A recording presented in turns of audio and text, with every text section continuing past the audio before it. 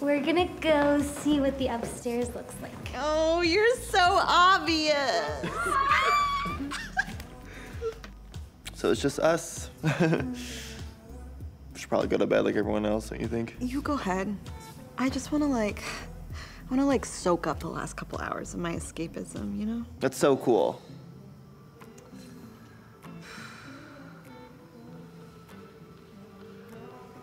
Hey, have you ever done like a sleeping beauty? It's wild. No, what's that? Okay, it's like a sedative high. Most people think sleeping pills are like weirdly just for sleep, which is so lame.